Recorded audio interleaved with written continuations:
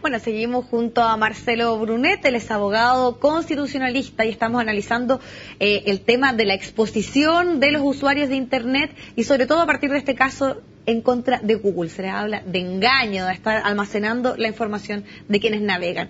Pero queríamos un poco eh, poder entrar en un tema, porque nosotros acá tenemos una policía, podríamos decir, que se dedica a ver todos los delitos que tienen que ver con los delitos informáticos. Estamos hablando del cibercrimen, dependiente de la Policía de Investigaciones.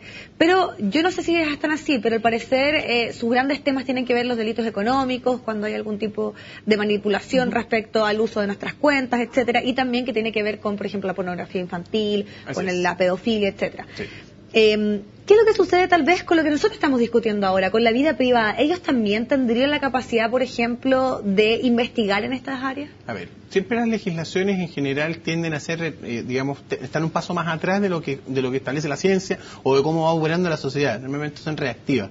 Entonces, nos encontramos con que nuestra legislación, en el fondo, lo que tiende a proteger desde el punto de vista de los ilícitos penales son cosas muy puntuales. De hecho, la ley de delitos informáticos, la 19.223, es del año 93 y ciertamente en esa época lo único que se protegía era el establecimiento de bases de datos. Se quedó añeja, podríamos decir. Yo diría que sería una, sería una buena política que alguno de los diputados o senadores que nos esté viendo o el Ejecutivo plantearan la alternativa de revisar precisamente normas de este tipo, porque finalmente están planteadas no sobre la lógica de la protección de las garantías individuales, sino más bien respecto a una cosa más colectiva que tiene que ver con, los, con, las bases de datos. Probablemente lo que más hace que digamos, es el que maliciosamente revele o difunda los datos eh, contenidos en un sistema de información que pueden ser los datos personales.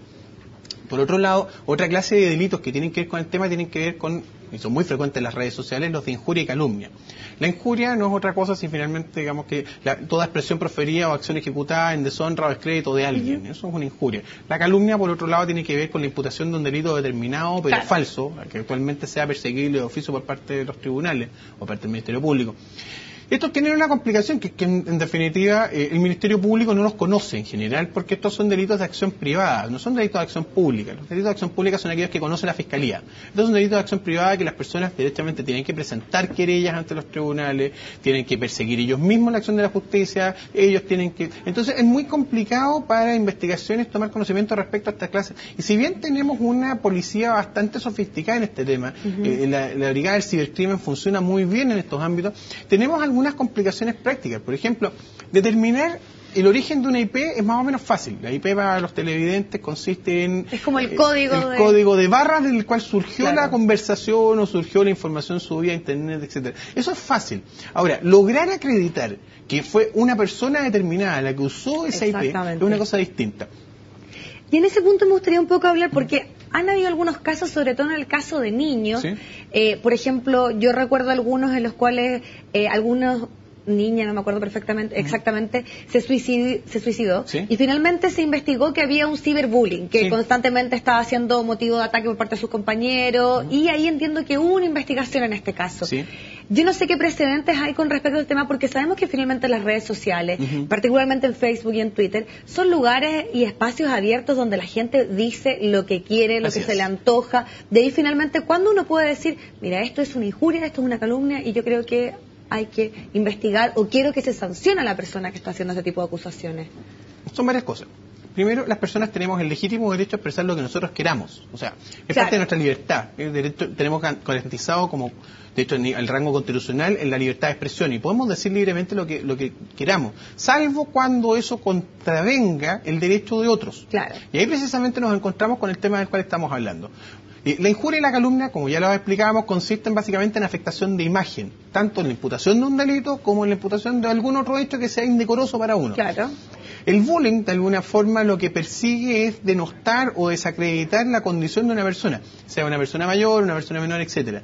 Eh, en estricto rigor las redes sociales están plagadas de bullying habitualmente. Normalmente se les conoce como troleo, digamos, el, el, troleo, digamos, o, digamos, que, consiste fundamentalmente, digamos, en la persecución de una persona por medio de sus expresiones o lo que ella quiere decir o lo que ella dijo en algún minuto, digamos. Y hace poco tiempo tuvimos un caso bastante llamativo que fue el de esta mujer que entregó una declaración respecto a su asesora del hogar, el caso de las nanas, que finalmente hubo una acusación y ahí hubo también un escándalo importante respecto al tema. Ahora, ¿dónde está el punto? ¿Cuál es la posibilidad que tiene de perseguirse delitos en esos casos, A ver, desde el punto de vista estrictamente legal existe, o sea, se pueden presentar querellas, se pueden iniciar acciones penales en contra de las personas.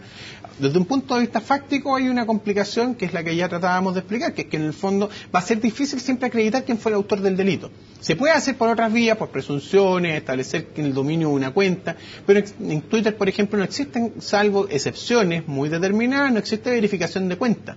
Yo no, yo podría, digamos, encontrarme con una cuenta arroba Vivi, por ejemplo, en el caso tuyo, y esa cuenta arroba Vivi podría no pertenecerte a ti, no obstante tenga tu foto.